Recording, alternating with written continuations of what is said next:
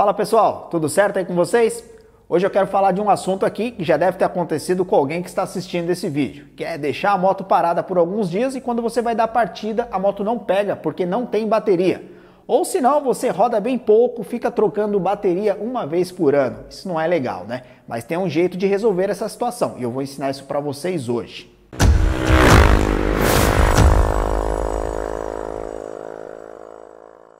Toda bateria ela sofre um processo de autodescarga. E o que, que é isso daí? Mesmo que os terminais estejam desligados e essa bateria esteja carregada, depois de um tempo ela vai descarregar. Isso é absolutamente normal.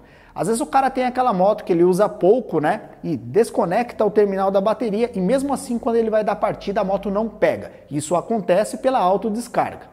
Essa autodescarga pode ser mais rápida ainda se a gente tiver algum consumidor na moto, tá? Por exemplo, Aqui está tudo ligado, eu tenho um alarme nessa moto. Esse alarme vai consumir diariamente uma quantidade de energia e essa bateria em até uma semana ela pode estar totalmente descarregada. A bateria, quanto mais ela descarrega, menos tempo ela dura. Por isso que aquele cara que usa a moto todo dia, né, igual uma pessoa que usa a moto para ir trabalhar, a bateria dura muito tempo, pode chegar até 5 anos de vida útil. Já aquela pessoa que usa a moto só de final de semana, no máximo ali um ano já precisa trocar a bateria de novo. Mas mesmo rodando pouco, tem uma solução para fazer a bateria durar bastante tempo. Existe um aparelho que mantém a bateria sempre recarregada não é um carregador convencional, tá? Que a gente coloca, carrega a bateria, depois desliga, tem que ficar monitorando. Não, o aparelho é como se fosse um carregador de celular. Você coloca ele aqui, ele vai recarregar a bateria. Quando ela estiver recarregada, ele só mantém a carga dela. E você pode deixar o aparelho ligado aí por semanas, meses, pode deixar até por anos, não tem problema nenhum.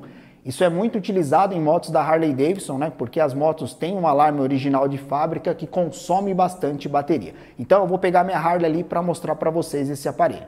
Esse daqui é o chicote do aparelho, eu deixo ele sempre ligado na moto, tá? Esses fios estão indo lá para a bateria. Quando eu chego em casa, eu desconecto aqui, ó, pego o restante do, do chicote do aparelho e ligo. E aí eu posso deixar ligado direto até a próxima vez que eu for usar a moto, tá? Aqui o aparelho está desligado, mas eu vou ligar ele na tomada aqui para mostrar para vocês. Ele tem um LED. Deixa eu conectar aqui.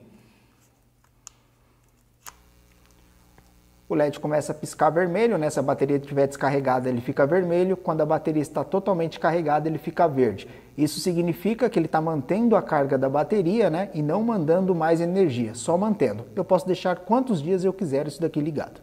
Geralmente o aparelho também vem com esse outro chicote aqui, tá? Caso você não queira deixar isso daqui direto na sua moto, você pode usar esse chicotinho aqui. Ele liga no aparelho e os terminais aqui você conecta na bateria, né? Eu prefiro esse daqui, porque eu não preciso ficar toda hora tirando o banco da moto para acessar a bateria, tá? Mas para quem quiser, né, pode usar esse aqui também.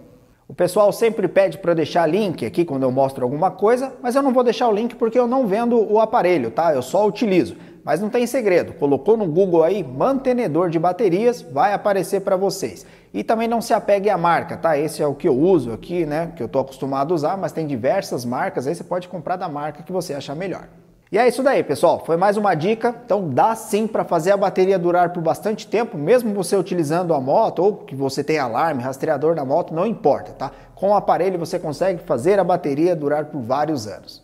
Para quem não conhece nosso outro canal, nós temos um outro canal dedicado a motocicletas Harley Davidson. Vou deixar o link do nosso outro canal aqui na descrição para vocês. Segue a gente lá também. Para quem gostou do vídeo, não esqueça de deixar o seu like. Para quem ficou até o final, muito obrigado, valeu e até a próxima.